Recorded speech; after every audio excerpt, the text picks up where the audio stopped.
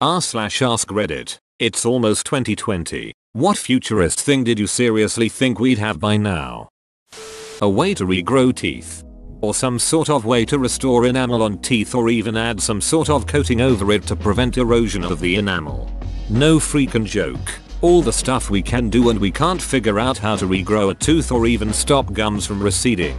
Or, hell, just a way to grow teeth in vitro and use them to replace damaged or non-viable teeth. Elevators that allow you to cancel a floor selection. Some newer ones allow you to undo by pressing the button twice. Smarter traffic lights. What do you mean? It's midnight and I am the only person on the road for 12 miles. Of course I need to wait at the light. Hate when busy intersections have cycle lights, the ones that change on time rather than if a person is waiting at a red light. The city where I live has smart lights at every intersection. So if there's nobody else around, you get a green light before you even come to a stop. What I'd also like though, are lights that can detect when traffic is starting to back up after the intersection, and preemptively turn red before people start filling it up. It's pretty frustrating to wait through 3 cycles to turn left onto a main street because people block the intersection at the end of each cycle.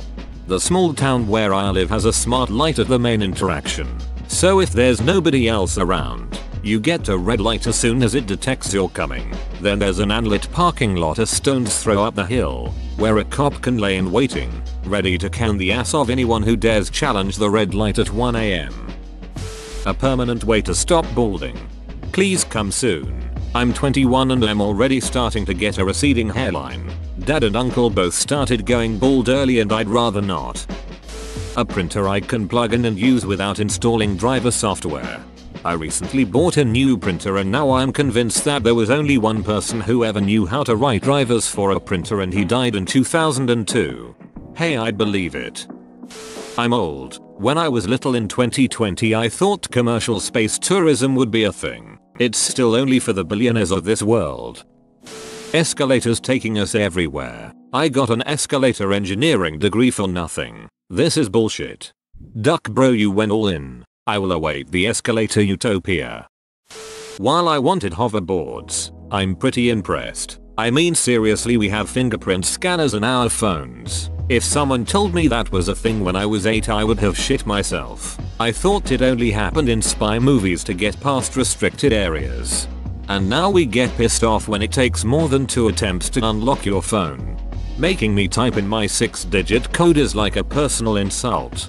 In the 70s and even early 80s I was discouraged from dreaming of a job working with computers because only a very few companies had access to them.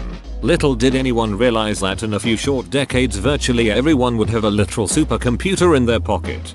My ex-stepdad was always telling me he wanted to get into computers in the early 80s but his mom thought it was just a fad. A bigger size limit on emails and better quality Bluetooth technology. Duck me, I have, what, 10 gigabytes of free storage from Gmail? I can't keep track anymore. It's probably even higher, but I can't ducking attach more than 25 megabytes. Duck me, it takes less time to download 25 megabytes today than it did to get a plain text message over dial-up when I started using the internet. Surely attachments could be a little bigger. Bluetooth is amazing in the ways it can duck up communication between two devices that are 6 inches apart. Business operations without paper. I work in IT and the amount of things this office prints out is ridiculous. I hate printers. I work in payroll and used to print like hundreds of pages a week. Finally led a project that made us go paperless. All I did was propose instead of printing out pages to write on them. We instead save them as PDF and work on them on Adobe. Turns out it's cheaper than all of the paper slash ink we use. And our process is faster because we're not bottlenecked by dying printers. Now we almost never touch it. Limitless paper in a paperless world. People persons paper people.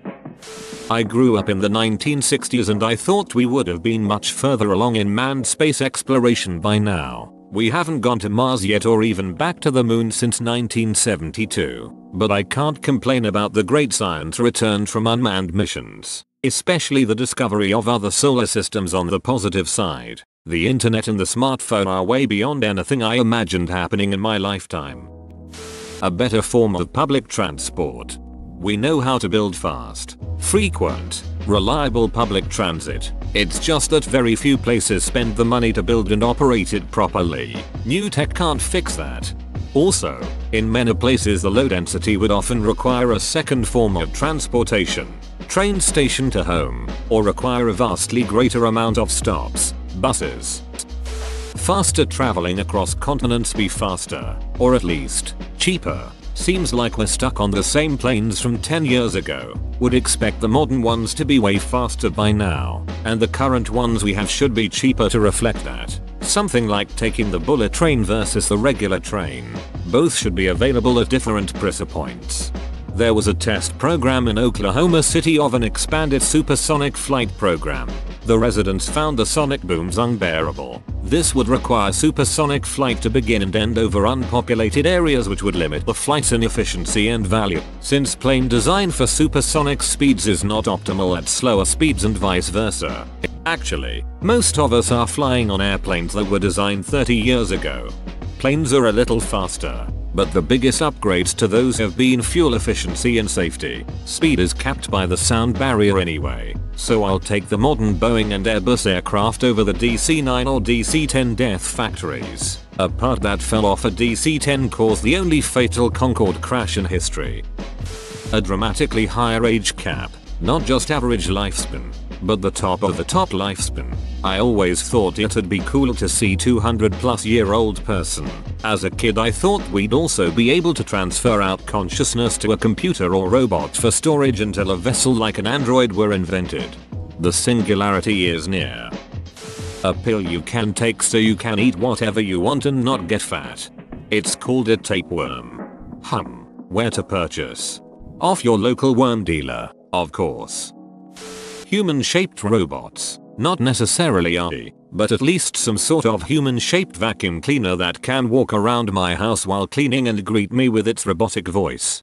I think I am good with Alexa as is. I don't think giving her a body would be wise. Alexa, play Careless Whisper and tell me what you're wearing.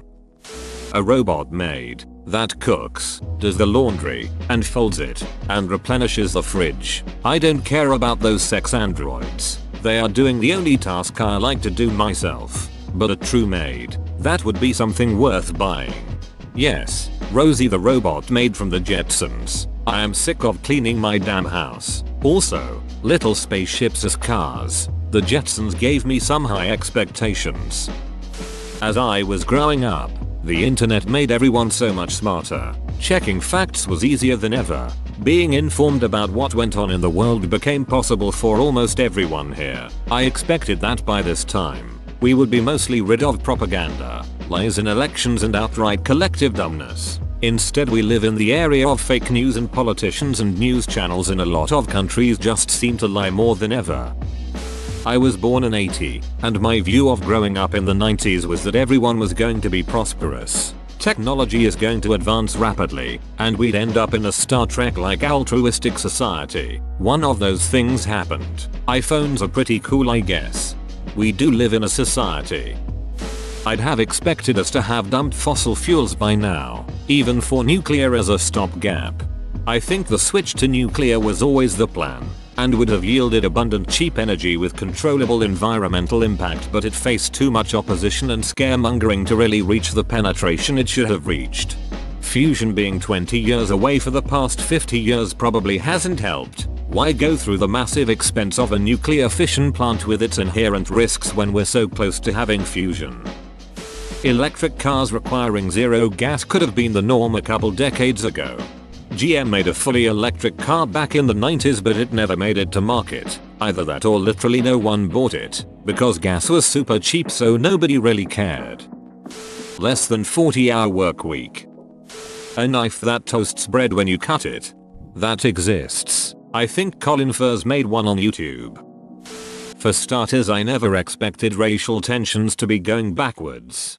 It's not that it's getting worse, it's that it's becoming more exposed which is honestly the first step towards progress. Nothing is worse now than when cops were beating Rodney King in LA, and things weren't actually better during the rest of the 90s or 2000s. We've just been seeing more and more incidents go viral via smartphone sharing across social media and the 24 news cycle in a way that wasn't possible even 10 years ago. Better webcams and a self-sustaining colony on Mars. Those things seem really far apart. A larger focus on space travel. Sure, we have SpaceX but I was expecting something like a new space race to Mars or space tourism like when Richard Branson promised Virgin Galactic 5 years ago. Internet money. Come on people. $6.4 billion a year in the US alone we are paying to criminals through credit card fraud. A system designed in the 50s has no place being shoehorned into the internet era. I used to work for a major US bank. We literally use 30 different systems. Some that were DOS based. F1 this. Tab tab tab. F for that, etc. I asked why we didn't have a GUI system and they said it would cost billions to update all the records and systems. Check it out. I can save these documents to this little bitty 5. 1 stroke 4 floppy. Pretty soon we'll live in a world where paper documents will be totally obsolete. Widespread commercial space travel.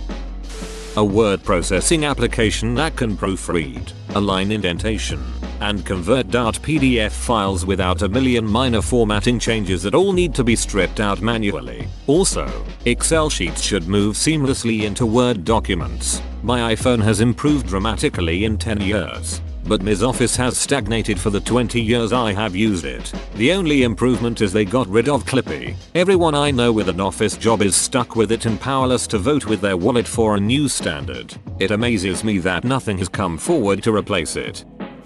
Video calling turned out better than I expected as I saw the progress through my childhood. The fact that is in nearly every pocket is a technological breakthrough for the deaf community in my opinion. I haven't seen a single just add water to this pill to get an entire meal product even advertised yet. Science fiction is just that. Whoa, you made it to the end? You're a ducking beast. I'll cut you a deal. Smash like and subscribe for more curated content bruh. It's free and that's a great price.